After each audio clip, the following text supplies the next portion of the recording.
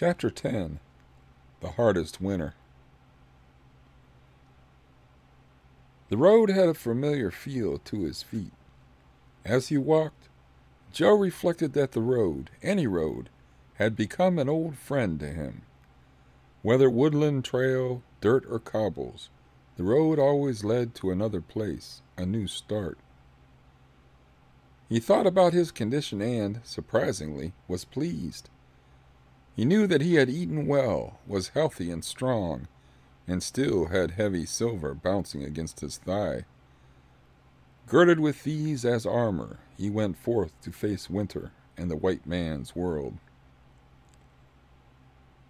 He walked until the waters of Arthur Kill stopped him, then followed the shoreline until he reached a spot that must have been near the present Outerbridge Crossing. There, Two Trees saw a man sitting in a partly hidden rowboat. His gun suggested duck hunting, but all that Joe saw told him no ducks would come to the spot. He waved, and the hunter waved back, motioning him over. As Joe approached, the man said something about not worrying about scaring the ducks. He hadn't seen any. The boy looked up at the clouds overhead and noted the wind direction. He squinted at the New Jersey shore and saw a small cove with tall bulrushes round it. He knew, by an instinct deep in his being, that no duck would fly under such low clouds to sit near a windward shore. He remembered the lessons his father had taught him at Turtle Cove and Vagabond Bay. Two Trees, the Indian, pointed out these things to the hunter they were a part of his heritage. It was bits of knowledge such as these which had provided food for his people, long before any man had hunted with a gun on this continent. He visualized the fall hunts at Turtle Cove, near his old home that his father had told him about. The men would hide in the tall reeds, reeds like those across the water. In this cove, he thought, would be ducks, feeding and gathering together. Joe offered to do the rowing if the man would come across to look for the seabirds. He told the hunter that he needed a way to cross anyhow, and would pay him for the use of the rowboat. The hunter, still a bit skeptical, finally agreed. Two trees pushed the small boat off a sod bank and into the main flow. The wind kept trying to force the two back into the frothy surf. Once he got the feel of the oars, though, the boat moved off into the wind. Soon the boy had established a rhythm, and the boat moved well. At each stroke, the bow would push into the whipped waves and throw up a fine mist of cold water. Joe felt and took note of the chilly bite in the early winter wind. Soon, he knew, would come a tracking snow. This was what his father had always called the first white powder of winter. This was the snow that showed footprints of animals that had eluded him all summer.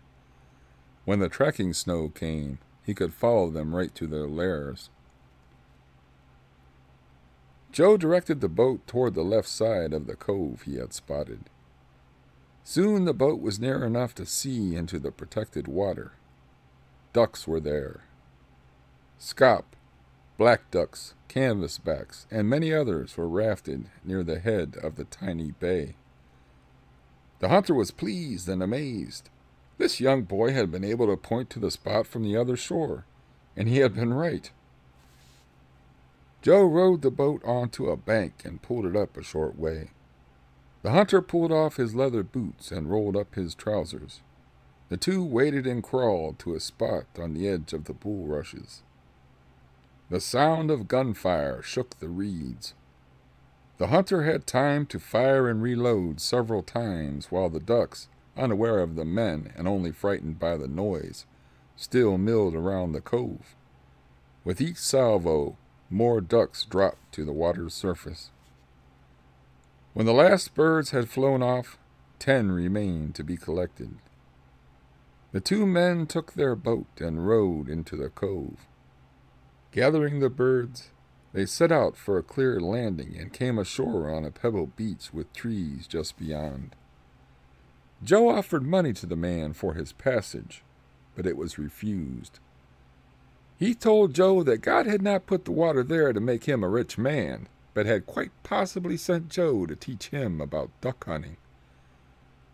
The two laughed together, comrades of the hunt. Joe was pleased at the mention of God.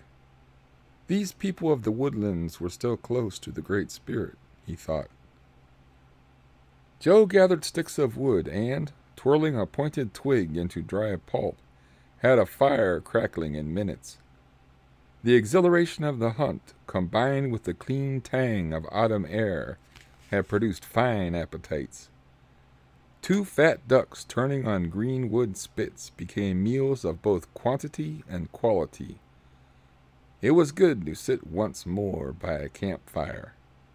The young Indian felt his thoughts move through the mists of many seasons, back to other fires, other places. It was comfortable to let the warmth of the embers and the conversation bring back old, buried feelings. Joe pushed back the comfort and warmth by reminding himself consciously that this was now, not then. Many problems confronted him for which he had only vague, half formed solutions. He was only partly aware that some of these problems were such that he had not even conceived of them as yet. Better, he thought, frankly to ask this man, who was still partially in his debt, than leave and lose the small chance for advice. Joe told the hunter a bit of his story, carefully avoiding any reference to his use of the flint knife in self defense. He asked how he could make a place in this new white world. The man thought for a time and finally suggested that Joe might find small, odd jobs at the many farms that stretched across the state of New Jersey. Farmers would probably offer food in return for wood chopping and other work. In this manner, Joe could work his way across the state into the Pennsylvania country where, it was said, new coal fields were opening. These mines would certainly need all the workers they could get. Joe knew little of coal. He remembered that some stores in the city had burned it for heat, and it was black. The hunter explained it was dug from deep underground, and only a strong back was required. Having that prerequisite, Joe decided to go to Pennsylvania and try coal mining. It was late now, and the man said he must be going home. Joe was sorry to see him leave. He watched as the wind pushed the small boat back toward Staten Island. This seemed as good a place to spend the night as any other, so Joe gathered reeds and pine boughs for bed and shelter. Soon he was lying in a lean to, peering into the depths of a tiny fire. The wind whistled overhead, but he was comfortable as he needed to be. In the mellow firelight, he reflected on his experience with the strange white men. Some had been bad, some had been kind, others indifferent to him. He thought it strange, though, that none had hated him as his father had said they did in the old time. He re- recollected the workers' laughter as they said, Indian Joe, Indian Joe. The laughs had been cheerful, not malicious, as if directed at a foe. Gradually he saw the reason. He was no longer the enemy, as his people had been perceived in the old time. He was only an oddity a freakish being from another time. Morning came, still and bright.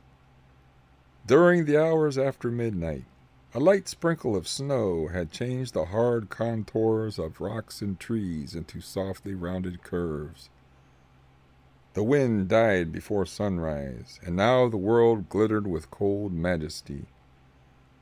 The snow, thought Two Trees, was a garment of great beauty sent to the Earth Mother by Teachamentu. It must have been a robe of light such as this that she had worn during her descent from the floating island in the story of the beginning. but such thinking could not help a would be coal miner. Now it was time to move on.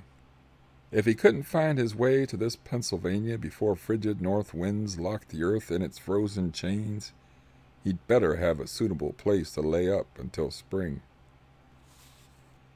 Joe packed his things and set off from farm to farm, as the hunter had advised.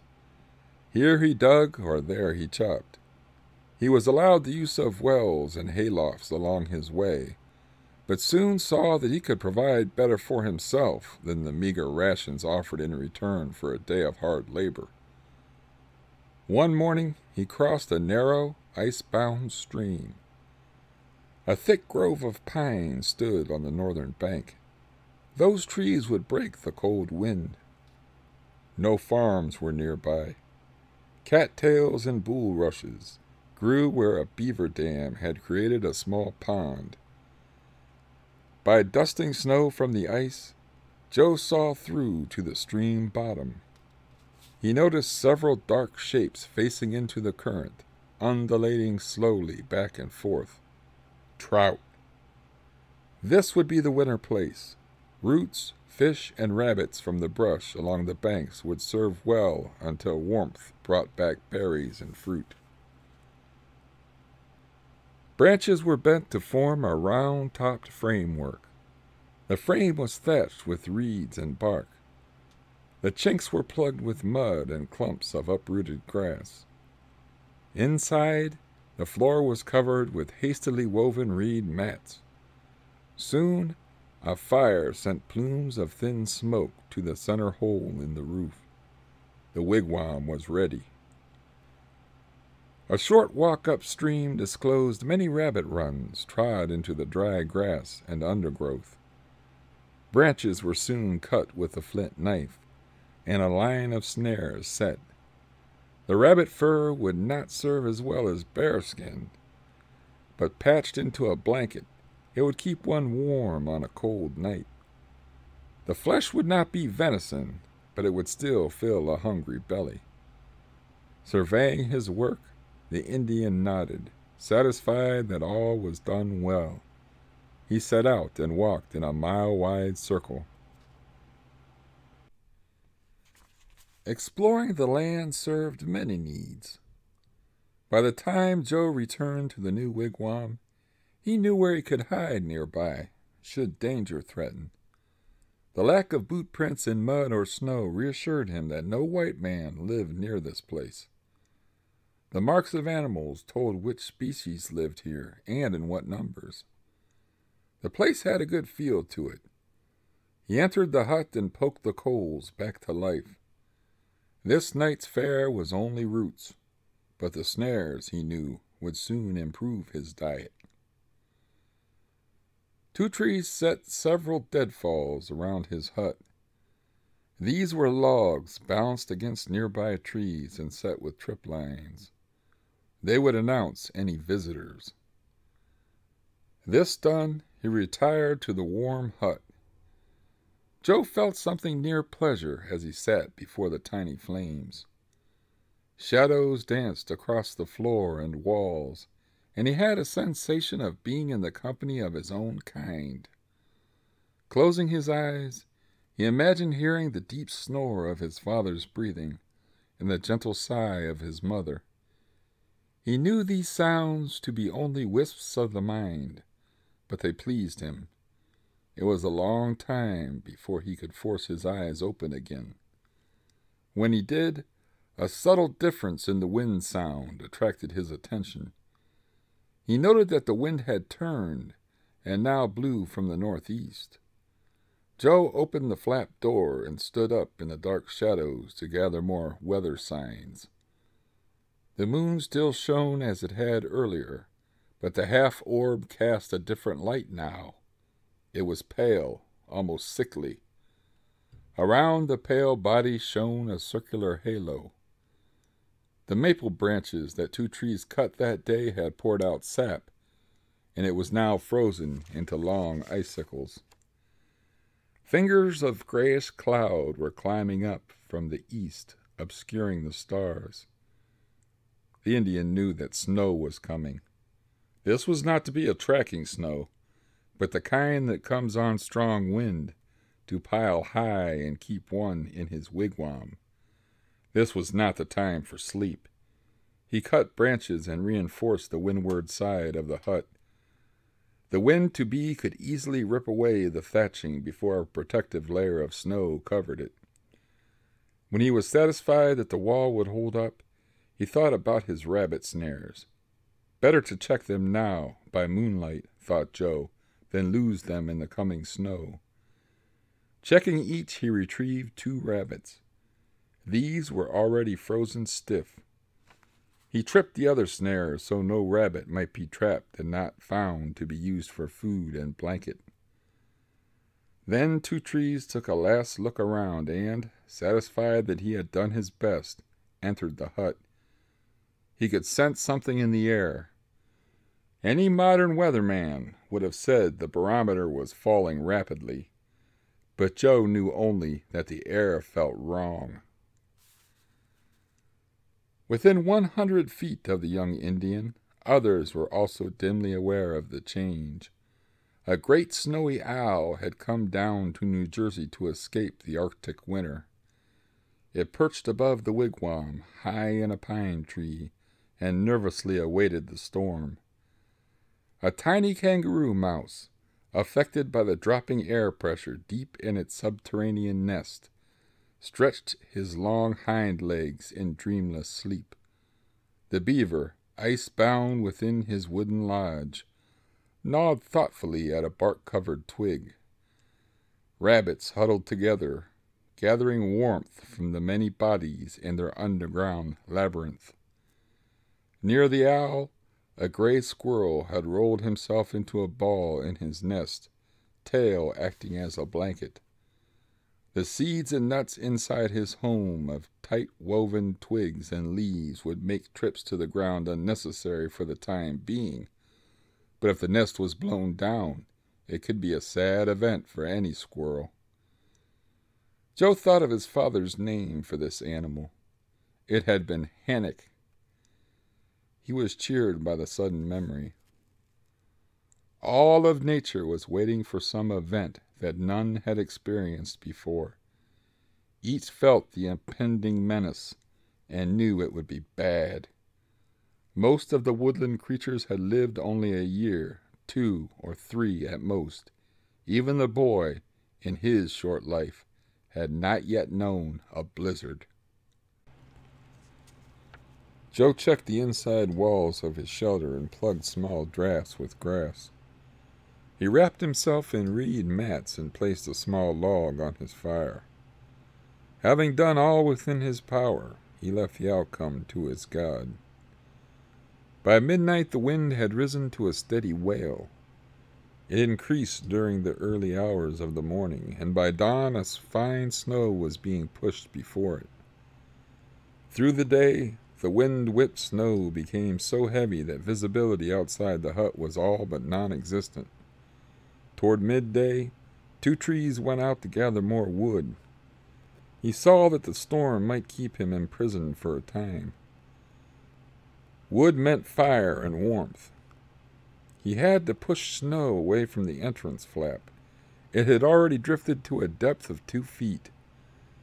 When he finally was able to squeeze through, his senses were assailed by an experience he had not had before. The wind raged and pooled at his clothes. The air was so cold that it hurt his chest when he inhaled. The driven snowflakes struck his bare hands and face with such force that each felt like a tiny needle driven into his flesh. His first impulse was to retreat back into the temporary sanctuary of the hut, but years of forest life forced reason to prevail. With no fire, the hut would soon only offer the prospect of a cold, lingering death. He pushed through drifts and pulled at each exposed branch or twig. Joe cursed his carelessness. The extra wood should have been gathered before the storm had reached its full fury. Instead of trapping rabbits, he should have gathered the fuel to make warmth and light. Hunger could be endured for many days, but cold was an insidious killer. It could creep into the hut by night and invade the sleeping body. Without fur blankets to hold the body heat, Joe knew that fire was more than a luxury now. He gathered what wood he could, but the cold soon forced him back to shelter. During the remainder of the short afternoon, he made several forays, and every twig still visible went into the hut. On his final trip, he explored the area around the thick roof of interlaced pine trees. Here, bare spots still existed on the otherwise covered ground. Joe pulled up tufts of dead grass and weeds, and these he forced into his jacket and trousers and boots. The dry materials would add some small insulating quality to his clothing. Two Trees knew that he had now done all possible with the limited resources available. It was time to go back to the wigwam and wait. Joe saw that the snow had already reburied his entrance, and he was forced to dig his way to the flap with bare hands. He noted that snow had drifted over the wigwam, and it now appeared as a small hill. Only the tiny chimney hole, with its blackened, sooty ring, showed evidence that this mound was not a rock or beaver lodge. At least the snow would keep out wind. He entered. Two Trees took one of his rabbits and skinned it. He cut the meat into pieces and placed them on a small ledge of snow where wind had forced through a crevice in the wall. The crevice was now frozen closed, but it provided a handy spot for cold storage. He did the same with the other rabbit. Joe looked at the few small scraps and wondered. So little was the food made from two plump rabbits. How long would it last? How long would it need to last? He sat by the fire and listened to the storm.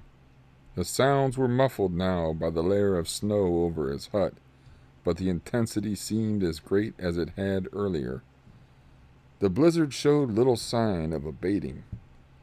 It had blown for a night and a day. Joe was not happy at the prospect of still another night. He wondered if his hastily built hut would withstand the weight of drifted snow above.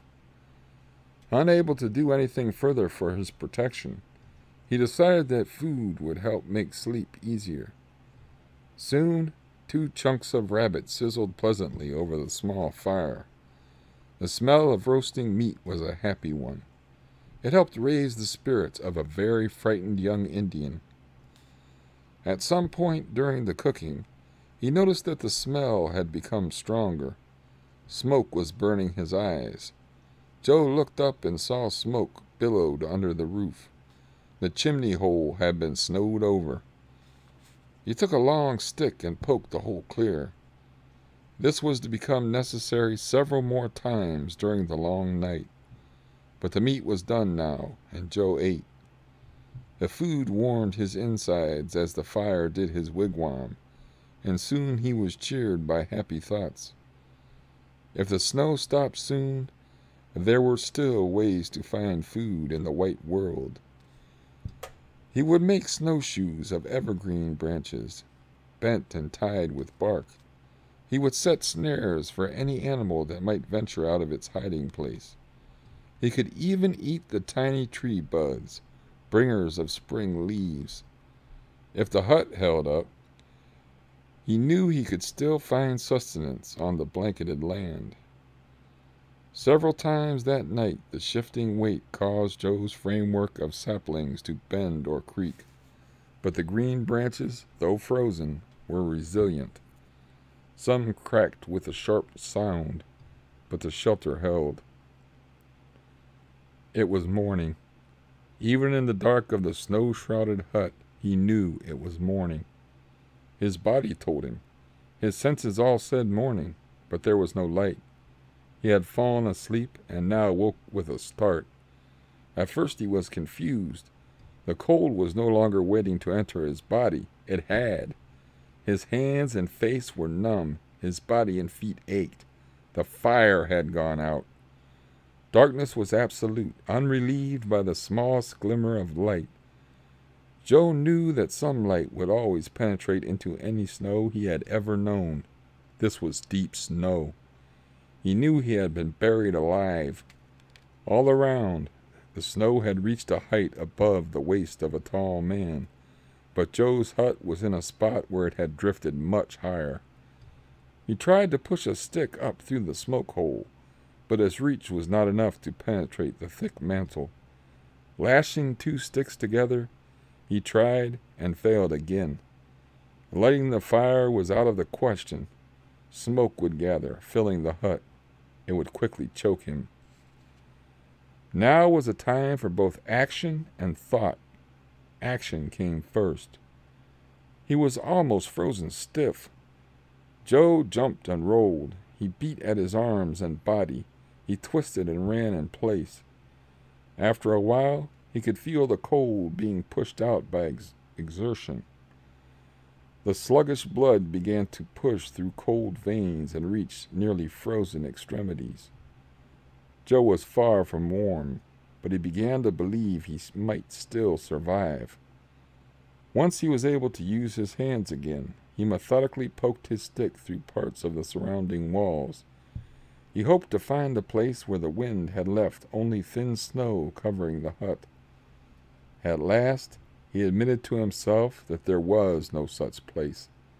The only way out of the trap was the way he had come in, through the entrance. Joe pulled the flap aside and began scooping out a low vestibule. He pushed the snow back toward the rear of his hut. His hands were very cold, but this was his only hope of escape. Thinking of the pouch which still held his few silver dollars, Joe found it in the dark and used it over one hand as a mitten. The dollars that he spilled out might be lost in the snow, but that didn't seem very important. The hole grew, and finally he could kneel in a crouch in front of the buried wigwam. By forcing his head and torso upward and then forward, he formed a rough step ahead of him. He dragged more snow down and back into the hut. It became a routine. Dig, push body, dig, push again. The cold was biting and cruel. By now, snow had found its way into his boots and down his neck. It melted slowly, sending trickles of ice water down his ribs and between his toes. But Joe had been toughened by a stern father in his hmm. early years. Eagle Feather had insisted on winter dippings at the icy creek near Michow, even when Two Trees was still more baby than boy. It will harden him, he had told a worried wife, and so it had. Joe could almost feel the presence of Eagle Feather offering encouragement, urging him on. At one point, Joe felt something in the snow ahead, and his fogged mind, near hysteria, thought it to be the hand of Eagle Feather come to pull him up. It was only the branching limb of a bush that he now recalled was about ten feet away from the hut. He pushed upward and noticed that the interwoven branches had kept snow from packing heavily. Using the branches as foot and hand holds, he forced his way upward a diffused glow above told Joe that he was near the surface. After what seemed a long time, he was able to push an arm through, opening a small aperture. His eyes hurt at the sudden brightness. His ears picked up the twittering chatter of chickadees high in the pines. Tough little birds that they were, they too had survived the storm. Now they whistled greetings to the newly risen sun. The sound told Joe that the snow had passed. The boy pushed himself through the remaining snow and emerged into a far different world than he had ever seen. Earth had lost her character. Only two colors remained the blue of the cloudless sky against the endless white of snow. No shape remained to catch the eye only the smooth, rounded contours of drifted snow. Where trees poked up through the white, they too were covered like pointed tents.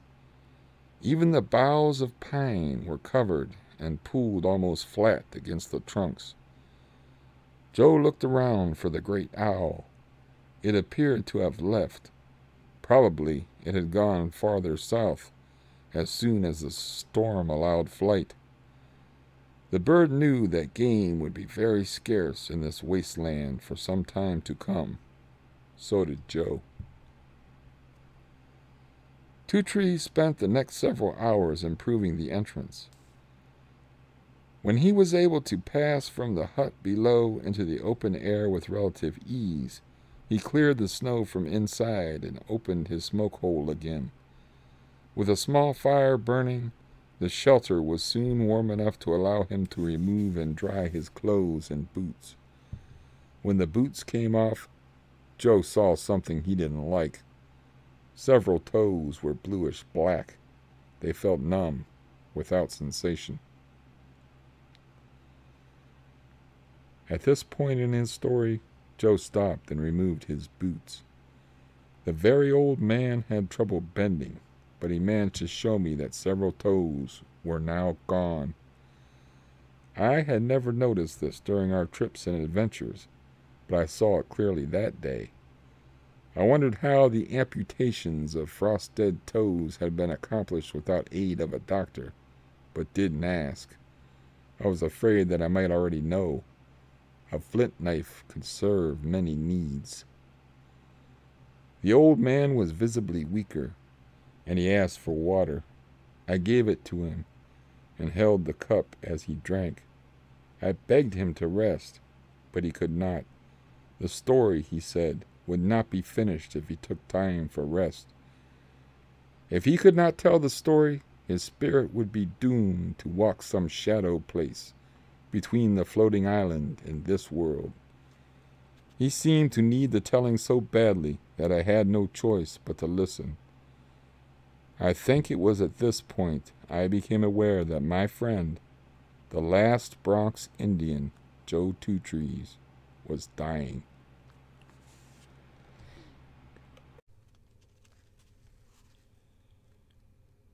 He continued the tale, telling of drying his clothes and then looking over the surrounding area. The barren snowscape offered little that could be used toward survival. He had lived this long, though. He would continue. Walking was impossible. Each attempted step plunged him in up to his armpits. He broke several pine branches loose and bent them into needle-webbed snowshoes. This done, he was at least able to move around the camp area. He had escaped from his living burial, but he was still trapped. While the prison had been enlarged, the bars were still as strong. He could only manage to move a few yards in any direction. Joe wished fervently that he had found this place earlier in the winter and put up food against such a catastrophe. The remains of one rabbit were his only provisions. By rationing, this might last a week. In that time, other sustenance must be found. Three days passed, but the bitter cold would not allow the snow to melt. Some settling occurred, though, and the movement around the wigwam became a bit easier. On the morning of the fourth day, Joe extended his search area.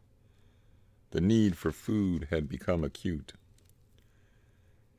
The Indian crept to the top of a small hillock about a hundred yards away from his wigwam and peered over cautiously.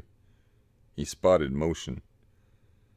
The tips of the branches of a small apple tree had protruded through the snow, and a rabbit was gnawing at the bark and buds. Joe crawled toward the animal, not knowing how he would catch it, but knowing he must. As he approached, Joe was surprised that the furry little creature didn't run off. Finally, the rabbit became aware of man scent and tried to flee, but days without food had weakened it. This wasn't a rabbit from the underground warren. This one had been trapped above by the storm. Half frozen and nearly starved, it was unable to escape from the youth. Joe simply crawled over and picked it up. The rabbit, a young female, protested with a few weak kicks, but soon stopped. Joe held her for a moment and then placed her inside his jacket. The rabbit sat quite still, afraid, but warm for the first time in many days. Joe walked back to the shelter with a meal secure inside his coat. The Great Spirit had provided for him. Once in the hut, he took the furry bundle from against his chest and placed it on the floor. The young hare sat and watched for a long time. She was too weak to flee. There was nowhere, nowhere to go if she could. It was warm and dark here, almost like the burrow she had lost during the blizzard. Joe watched.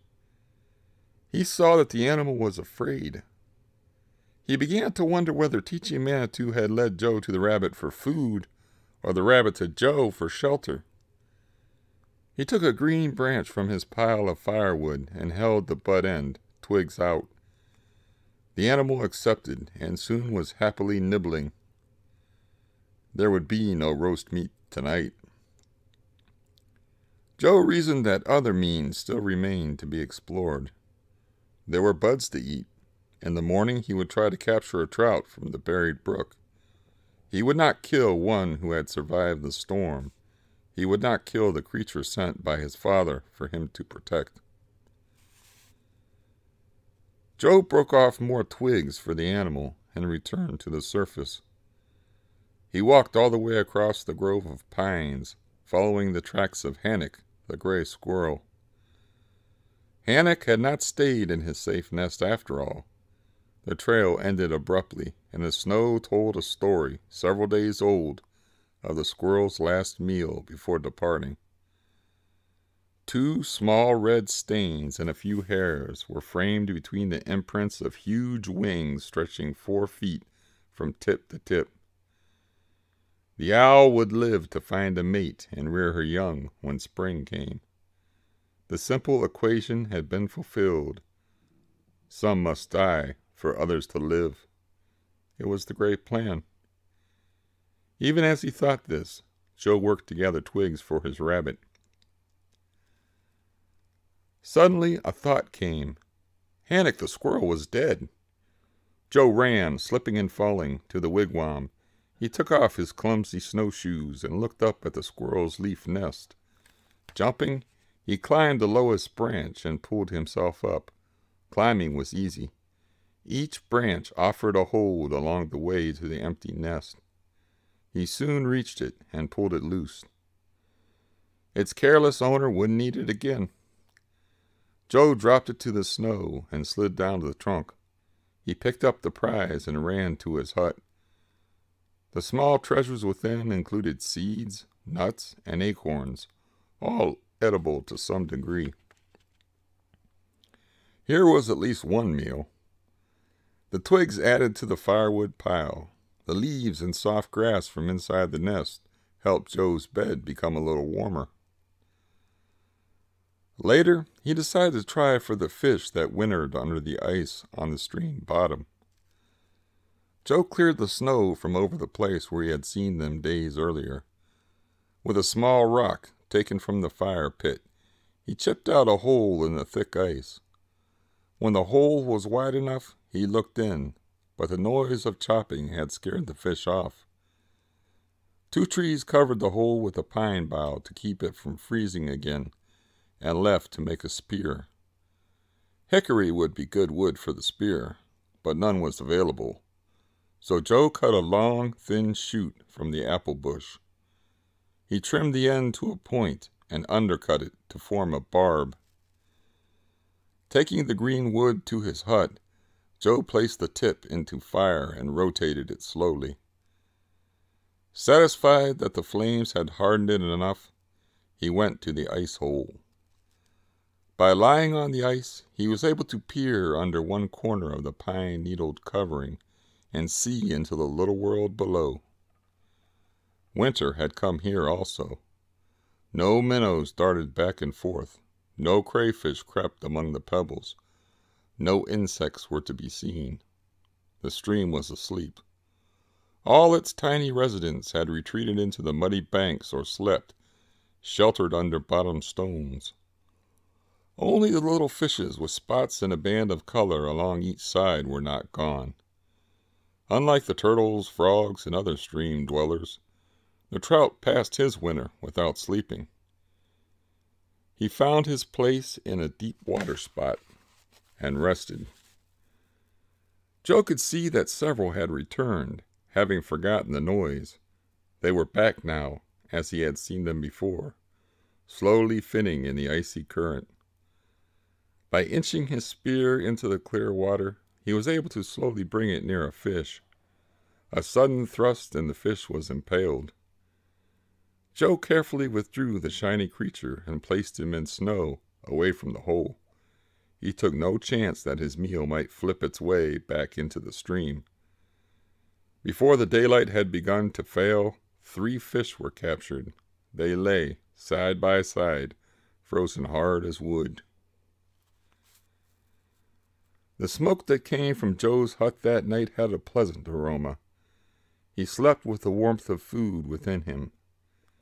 Late in the flickering darkness of low flames, the rabbit nestled against Joe's leg. He awoke and saw, but did not move. He smiled and went back to sleep. That winter was long and very hard. Joe's toes ached and bled much of the time, but gradually they healed. There was no early thaw that year, and snow covered the land all through the months of long nights. Joe often lost track of the progress toward spring.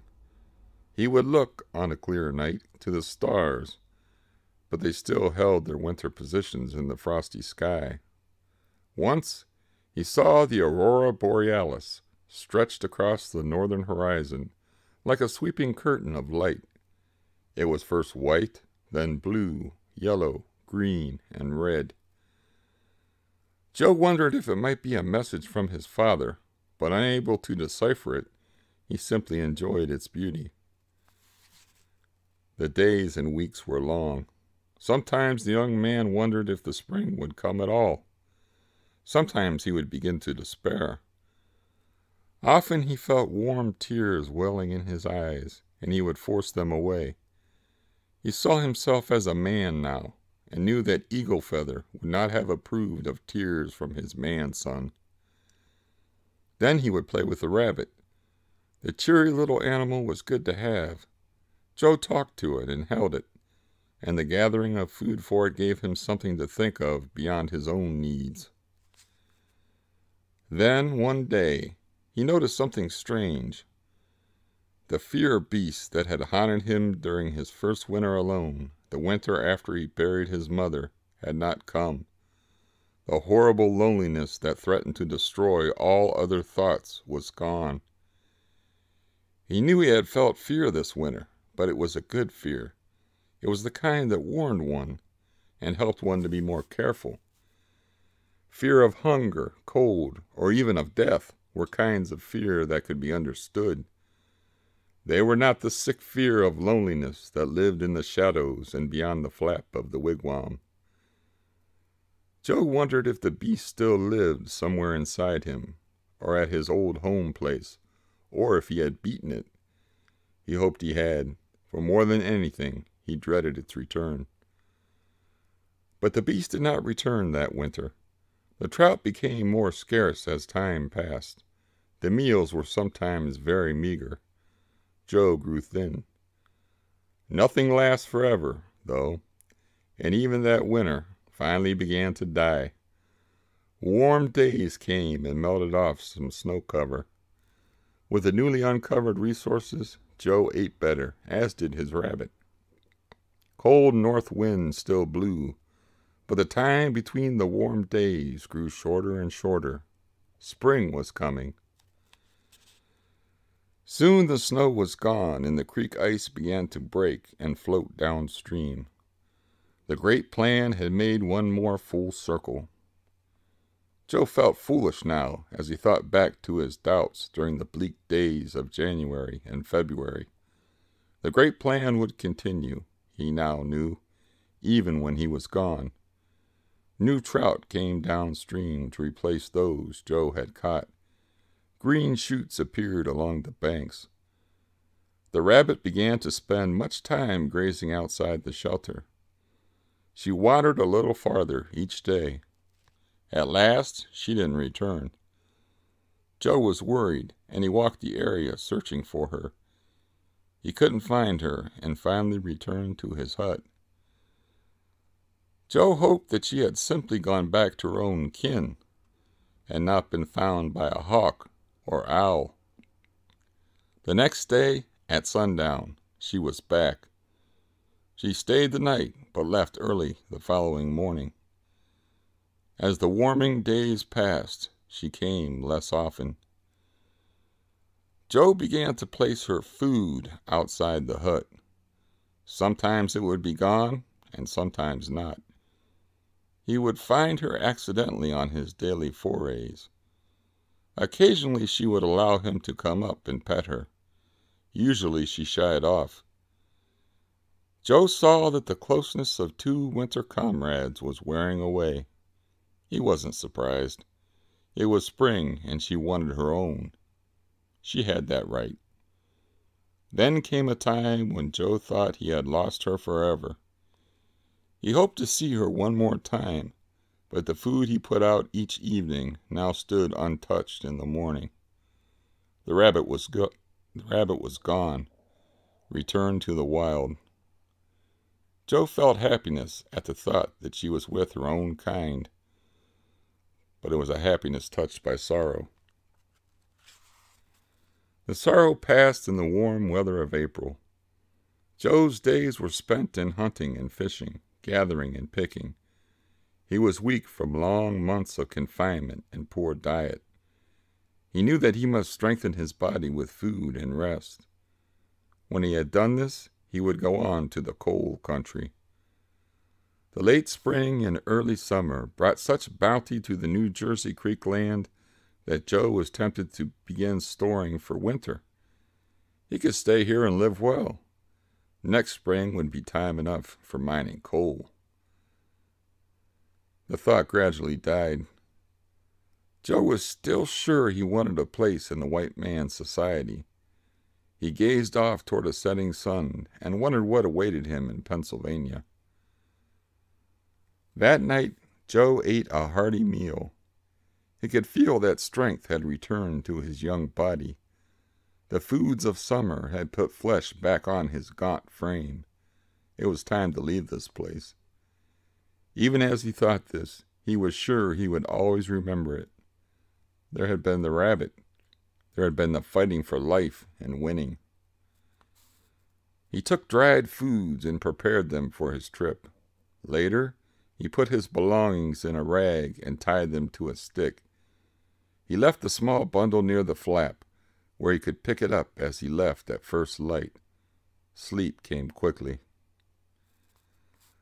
When the first rays of a yet unrisen sun had just begun to color the morning mist to rose, Joe was already awake. He lay for a few minutes to savor the smells and sounds of the newborn day. A bird chirped, and he could picture it stretching small wings, unused for many hours. From far off, the odor of a skunk was carried on the damp air. Some fox had probably learned a hard lesson in the night. Above, a small brown owl hooted its forlorn goodbye to darkness. A splash gave evidence of trout feeding on hatching insects. The day had come. Joe rose and took his bundle. He opened the flap and stood up in the half light. He looked down and stopped. There were tiny shapes all around his feet, and one larger one. In the dew wet grass in front of the hut, many small rabbits nibbled, watched over by his winter friend. She had been gone for a purpose, thought the man. Joe reached down, but the furry young scattered. He motioned to the mother, however, and she approached. Hesitantly at first, then more confidently, she came to the hand that had touched her many times before. Two Trees knelt in the damp grass for several minutes, caressing his former pet. Then the new mother gathered her children and brought them to a brush pile. When they were safely inside, she turned and watched the Indian. He had also turned toward the west. As he walked, Joe Two Trees looked back and saw the rabbit. He continued on his way again and thought that even though he had saved her from the storm and fed her all winter, it was she that had given the greater gift.